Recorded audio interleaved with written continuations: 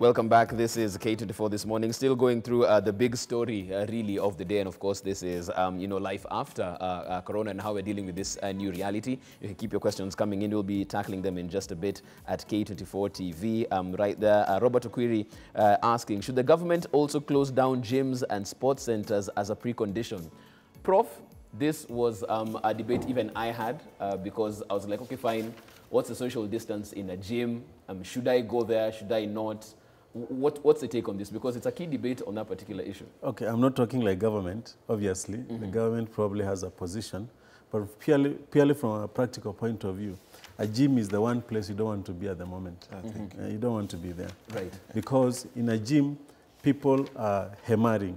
People mm -hmm. are doing physicals. Right and they are breathing and they're hammering. The place is enclosed, and the, the gyms I know people are many. Right. It's a crowd. Right. Don't go there. Right. So if you can, they're touching, uh, they're touching the surfaces. Right. Don't go there. Right. So you avoid it at all particular costs. Uh, Edison Moas uh, from Bamburi Fisheries, uh, loving the show and loving the education we're getting uh, right now. If you have any question, Edison Moas, uh, please send it in as well. We will be tackling them, of course, uh, right here. You can get us on 21222. Alternatively, you can also SMS us on 21222 rather, or tweet us at K24TV. Uh, moving on to the Stars front page, talking about Matatus being the weak link in the anti-corona war. Um, on this particular issue, they've been called in as, as serious stakeholders in how uh, the government can actually work to manage this. But the realities on the ground, as they say, are totally different because you look at the dynamics of a Matatu, and yes, you shall tell us to try and uh, you know, have that uh, social distancing, but look at any route, at any Matatu, um, uh, any Matatu route they're going to use, and you can't have that. People still have to move from point A to B uh, let me start with Prof on this one. How do they handle this? That's, uh, last night I was thinking about matatus and I decided that that's one of the most difficult things to sort out. Matatus even have bed bugs. Last time I checked, there are fleas and cockroaches. but uh, it is possible to sanitize matatus before they go into, into the road. Mm -hmm. Okay? And it's possible for the passengers who are getting to the matatus to be uh, to have their hands, you know, sanitized. Right. And generally some basic hygiene, uh, to look out for basic hygiene. But matatus are congested by mere virtue of their small vehicles carrying quite a number of people. Right. So it's a very difficult thing to think about. Mm -hmm. But sanitization is possible. Right. Um, yeah. There's something I saw online uh, with uh, one medic talking about the fact that probably one thing you can do in a matatu is try and make sure all the windows remain open. Is that, does, does that help mitigate this? Ah, I wonder about that. I doubt. I'm not sure about that at all. Mm -hmm. Coronavirus is something new is something that we are trying to understand, and we have, we have just had maybe 100 days to understand the virus, maybe less. Right. So I wouldn't know for a fact whether opening the windows or closing them is a good. Right. I do know that somebody in that matatu will cough or will sneeze. Right. And when they sneeze, the dynamics will change. Right. How right. do you prevent this from happening and affecting other people? Mm -hmm. It's tough. A plane is a much more clean you know, environment, and people are getting infected right. in planes. Mm -hmm. How do you do this? I do not know. And, and that's really the big question mark because it's all about the logistics behind uh, this particular one. Even after the government had given the directive and said that um, they'll be having um, sani uh, sanitizing being done before the passengers got into the matatu, yet on, in the Senate on that particular day, there was a senator reporting that in their area, it's business as usual. So how, how do we deal with this, the logistic part of it? Because we know what we need to do, can we do it though, and with public transport? Uh, you see, uh, let's start here. Let's look at Matatu culture to begin with. This is a culture that is full of people who are rebellious, people who no, it's, it's the truth, I'm, I'm, and I'm not uh, without fear of contradiction.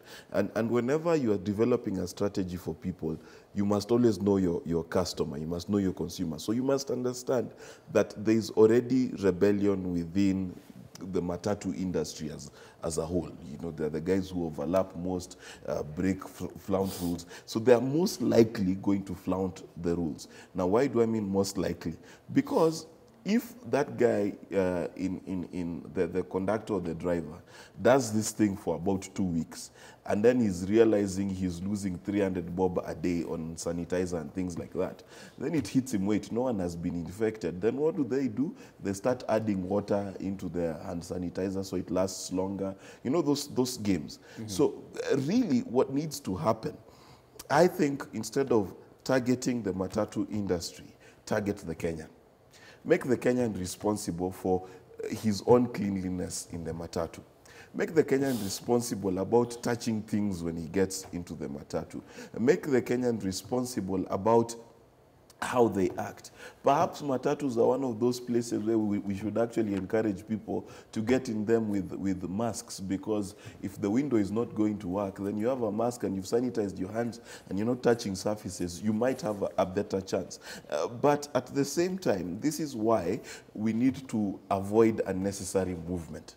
And that's why I'm saying you need to target the people. So target, why do people use matatus most? Because they need to get to work. So stop the need for people to go to work Right. right? Uh, get a lot more people working from home, get a lot more people on, on leave for, for a certain period of time so that you do not have people in, in matatus. Uh, the other thing that you can do is encourage people to walk.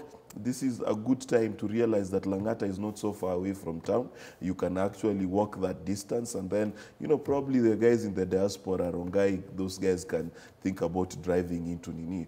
Uh, you know, but guys in South B, South C, please, you Right, know, right. you know, th- those are the things, the conversations that we need to start having as, as a country. But what I like about this particular uh, crisis is how it's forcing us to rethink how our society has worked for a long time. Because a lot of things have been upside down for a very long time, and we've not had reason to look at them. This is a very, very good time to look at those things and those weaknesses and figure out do we want the matatu industry to continue as it is? Because trust me, even without Corona, I don't want to be in a matatu. Right. It's a very uncomfortable cockroaches uh, feeling. And Let, um, us let's think about China. Uh, they, they started in this manner, wondering what to do. yes. Uh, we hope that for Kenya, we don't get to a point where all roads are closed, or Italy. Italy did the same thing. All roads are closed. You can't move, you can't drive. Yes. You have to have a special pass even to get outside of your gate of your house. Yes. You see? So maybe we should start by trying to enforce this thing in matatus where you need to sanitize the matatu and then you need to make sure that people are protected. But it may get to a point, depending on how the numbers look like, that a discussion be on the table. Should we shut down the roads completely? Right. This is the thing. Just make it a walking nation. If you have No, you don't even walk. Stay at home. Okay. It And- may and- come to that. And it's very easy to get there. Mm-hmm. And, and you see, that's, that's why it is so important for people to follow the measures that the government is saying now. You see, when it's three cases and the government feels all those three cases are at Mbagathi, so, you know, all it needs to do is manage movement, then, then you're fine. But if you find 20 cases out there, and then that 20 cases, if you just do quick mathematics of infecting three people for each, then the government will be forced, you know what, everyone stay at home, no movement, unless you have a special pass. But the best way to, be, to prevent that is for Kenyans to act right. Stop going to, you know, uh, stop this hashtag coronavirus uh, virus for who, you know, things like that. Stop that because it's not just about you catching it. It's, we, for the first time in a long time, humanity has to think as a collective. Right. You've got to think as a collective. So it's not just I am healthy, is am I doing the things to keep everyone else healthy? Right. Because even if I'm not sick, okay, 80% who will get the infection will probably not notice, right? Mm-hmm. But that 20% that does notice, that 20% that does go to hospital will shut down your country. Right. You understand? So you, you may be okay, but that 20% will ensure you can't go anywhere for three, four weeks, and then we'll see how much Netflix you can watch. So it's a key critical uh, 20% uh, in that Yes, particular regard. yes. Uh, Prof, i there's something he's mentioned right there, and you've uh, also alluded to the fact that um, 80% might have it and not even um, you know know that they have it and move on with uh, daily life. And it's an interesting because there's a question that has come in uh, from uh, John Nyongesa uh, right here. Um, asking how do I know the difference between my common cold and uh, corona? Because even, even during the break, Mark was talking about the fact that yesterday you're profusely sweating, you're walking around, you're feeling a bit fatigued. You ask yourself, is it time for me to go to a health center and get checked? You cough a bit, is it time? How do you tell the difference? When does it get to the point where you need to go in? Uh, for a normal person, that would be tough. But coronavirus tends to present in the following manner. So it tends to give you a sore throat, right? Uh, you generally won't have a running nose, mm-hmm. but you may sneeze, mm-hmm. okay? But the thing that really makes you sick is the lung infection, all right? So you get a pneumonia, a pneumonia. So when you're exerting yourself, like when you're climbing the stairs, you mm-hmm. start feeling as if you don't have enough oxygen. You start having capacity challenges, right? And you have fever, Yeah, quite. F- the fever is, can be quite a bit, and then you'll have a headache. Right. When you have a common cold, your nose may run. You may not have a. Some, Right. Sometimes you may have. Mm-hmm. All right. You may have a slight fever, not too much. So the thing is, most people will not be able to differentiate between their cold and corona, which is not necessarily a bad thing, mm-hmm. except that when you have even a, something you feel is not okay, you feel like you have a cold, because you don't know whether it's corona, please isolate yourself Right. as it don't infect other people. See what I'm saying? Mm-hmm. So, but from a medical point of view, the, of course, there is an algorithm that you follow as a doctor to check whether the person actually has mm-hmm. corona or not. And even before you test them, you already have high, a high index of suspicion that this person may have corona. He may have all those signs and symptoms I've said, plus they were exposed to somebody who mm-hmm. was a, a case or who had traveled to a country that you know had coronavirus and came in and started feeling sick and so on. So mm-hmm. there are all these things. Now the trouble at that level is is something that one needs to think about. We don't know this virus very well, but at the moment we even know now that it is giving you gastrointestinal symptoms. This virus is giving you nausea, vomiting, it's giving you diarrhea, okay? And we have also now learned that it is damaging the liver and damaging the lungs, not just causing you pneumonia, even after you become better. Some time down the line, you'll realize that your capacity is not what it used to be. So it, there's more chronic sequelae. Right. And for the liver, it will cause you damage to the liver, and there may be more chronic sequelae. These are things we are learning as we go along. Just two weeks ago, we didn't think that it had an effect on the gut. Now we know. Now we know. J- Just a quick question. How, how long should people self isolate? I think that's very important. Ah. All right. Uh, the, from the day you're exposed to the day that you, you have signs and symptoms appears to be somewhere between 4 and 14 days, appears for the majority. So, ballpark, you'd say a week or onwards, a week. By the time a week is over, you know whether you are badly off or not. Right. I would say so, but we do not have a specific you know, date we can give and say. Uh, Of course, when there is a lockdown, uh, you're probably thinking that it will be a week, two weeks, three weeks like that. And the situation is assessed with the time. as a news uh, as we move on on that particular one. Uh, so keep those questions coming in. Of course, we'll be tackling them uh, right here on the show. But also talking about the communication on this particular issue because there's a lot that's going on, a lot of fake news, and also a lot of uh, fake advertising as well. As found out uh, by our very own Matara, um, one uh, clinic in Yaya, purportedly saying that they have self-testing kits for the coronavirus. Take a look at this particular story. Early Monday morning, and the Kenya Medical Practitioners and Dentist Council stormed the Avain Cosmetic Clinic in Yaya Center Shopping Mall, Nairobi, in search of test kits that the proprietors said could allegedly test for the COVID 19. This after an advertisement went round on social media from the clinic calling for Kenyans to buy the coronavirus test kits. The advert also indicated that out of a stock of a thousand kits, only 400 kits were remaining at the store, with 600 already having been sold. The advert called on interested buyers to rush and grab a kit at 3,000 Kenyan shillings. The advert is so alarming that they, are, they indicate they have already sold 400 and they have um, I mean, uh, uh, only 400 remaining, which means 600 have already been sold. But the KMPDC officials were alarmed by this advertisement, turning it false and illegal. They wanted to know how the clinic got the license to import and sell such kits, if indeed they were genuine, as well as the full list of customers who had already purchased the kits. For us, we are more concerned about the safety of Kenyans. And once we get these kits and we, we get them certified by the regulatory agencies that are given that mandate, then we shall be okay. So far, only Kenya Influenza Center laboratories have the capacity to test for the coronavirus in the country, with the Kenyatta National Hospital and Mbagathi hospitals prepared to host corona suspected and confirmed cases. Meanwhile, the Competition Authority of Kenya on Monday ordered Clean Shelf Supermarket to refund in full money to customers overcharged after buying hand sanitizers from one of their stores. According to the authorities, some of the sanitizers that normally retailed at 800 shillings were being sold for 1,000 shillings and above. Clean Shelf, on its part, said that it was a pricing error that was caused by one of their managers in one particular supermarket in Ruaka, adding that the manager has since been punished. This after President Uhuru Kenyatta warned business persons against increasing prices for their products due to the coronavirus pandemic. Dennis Matara, K24. Um, just some of the information that's going out and uh, by large, I mean, misinformation as well uh, right there.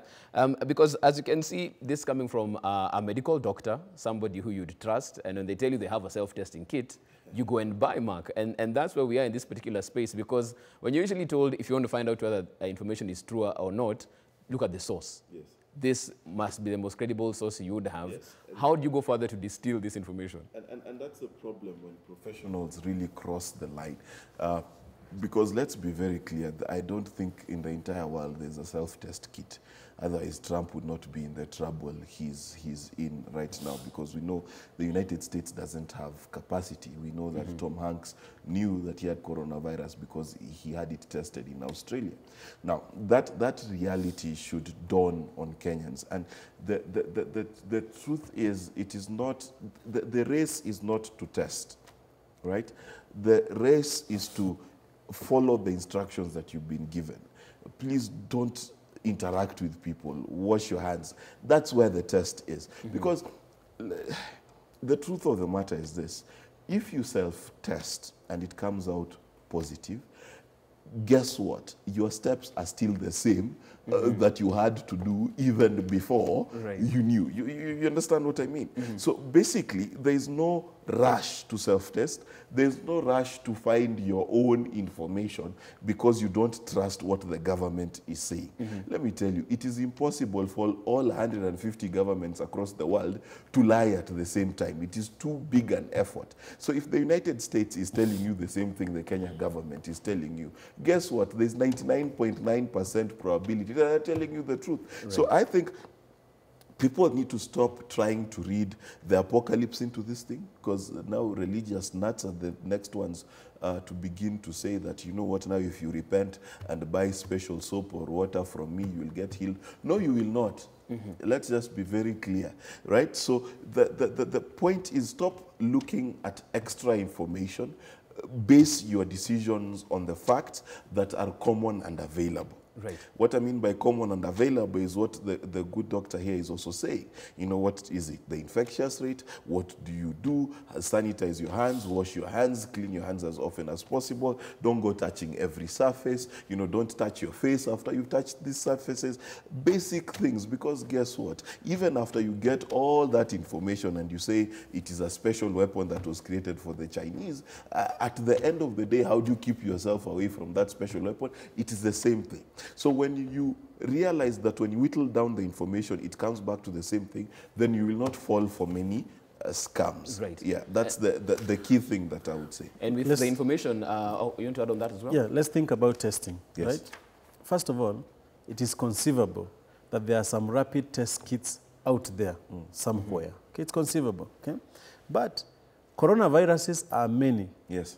This one that is affecting us now, uh, this COVID, the one causing COVID-19, is just one coronavirus. If you take a test kit and then it shows you one line good, two lines bad. Mm-hmm. So suppose you have two lines. Mm. Which coronavirus do you have? Do you have? Mm. Uh, it is conceivable that you have any of those coronaviruses, including the ones that cause the common cold. Okay? So how will you know what to do for yourself? You won't know. Mm-hmm. Okay? Now, the current testing in the country today is fairly sophisticated. Okay? And we are lucky. We are a bit ahead of the United States, let's say. The United States tried to make their own test kits and then they flopped. And then they were in big trouble. Now, as guys learned lessons from that kind of thing, we put our act together. So it's fairly sophisticated, but it is likely to benefit you when you've been admitted to the hospital and the doctor wants to know whether you have coronavirus or not. Yes. Right. If you are a person who is working okay and you're at home and you- you're doing fine, you want to test yourself so that you do what with the result? Right. So that you know what. Right. it's not better just to know that you're fine. Uh-huh. oh, yeah. And in any case, the coronavirus test is not directly related to your treatment because your treatment is generally, for coronavirus infection, is generally supportive. Some water here, some uh, paracetamol here, you know, Right. like if you have a cough, some expectorant or something. Yes. There's no specific medicine for coronavirus. So what are you doing when you are testing yourself? it doesn't even make sense. And those people are fooling others out there they're selling a test. That's a very, I doubt if he's a doctor who's doing that. Yeah. And, and a key part of uh, the communication that we've had uh, right across the world is the importance of just basic hygiene, washing our hands and not touching our faces, not touching surfaces. And that's why we've seen, like with that particular uh, supermarket, um, hand sanitizers, um, I mean, they've just gone uh, through the roof in terms of pricing right there, in terms of demand for it as well. And some people are asking, if I don't have a hand sanitizer, does hmm. basic soap and water do it? Yes, it If I just got my bar of soap, regular bar of Yeah. soap and water and Yeah. wash my hands, Yeah. does it do the same job? Because it seems like everybody wants 10 hand sanitizers to keep in the house. Yeah, this is the problem with the being middle class. That is like a level two or level three in the whole economic setup. Mm-hmm. This this thing of trying to get everything to have everything for yourself without thinking through it. Soap works perfectly fine. Hydrogen peroxide works perfectly fine. Jik works perfectly fine. Dettol works perfectly fine. You know all these things that you use they, because we can demonstrate and there are even publications, there is peer-reviewed publications on the effects of some of these detergents on, on the coronavirus. So don't panic just because you didn't have, uh, you went to the supermarket and found people had taken away all the sanitizer. Go home, do your soap, do your Jik, just keep yourself clean. Don't touch things randomly. Right. Yeah. Okay, we'll be uh, taking a short break in just a bit and now getting in uh, more into the, this communication Just- aspect just, as just well. a quick one. I think I need to clarify. When he says do your Jik, it doesn't mean go and apply bleach on your No, skin. no, no, no, you, you know, there's that uh, fake news that was going that if you drink bleach, you'll be cured of corona. So that's not what he means. Sanitize the surfaces. Yes, sanitize the surfaces. Indeed. Before we get into the break, uh, because just wanted to look at uh, the, the communication strategy being put in place as well uh, by the Emergency Response uh, Task Force and the uh, you know, spokesman as well. Uh, Mark, from where you stand, um, a report card on what they're doing so far? No, uh, excellent job, excellent job. I know people are saying that, oh, let's let's have um, a medical doctor be the one who's talking all the time instead of Mutahi Kagwe.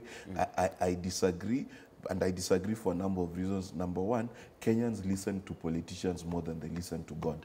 Okay, so when when when when that space, because that's where we get our leadership from, is talking, that's good. I like how it's being cascaded, and governors are taking up their role, and uh, Colonel Oguna is taking up his role, and, and that's how it should be. And the medical practitioners, and we have uh, uh, the deputy director here of, of, of our research institution in Kenya talking about it. That's exactly how it's supposed to be. Right. And I like how he's not said anything that contravenes what the government has been saying. Right. The other thing is consistency, and the government has been consistent. The message is the same day in, day out. If you want to know how not to handle a crisis, please uh, watch the uh, the peach-colored one in uh, the White House, uh, Donald Trump. That's exactly how not to handle a crisis. And if you compare how Kenya is handling it and how it's it's being handled there, it's it's Kenya is doing a much much better job. It's doing even a better job of containing the, the contagion than it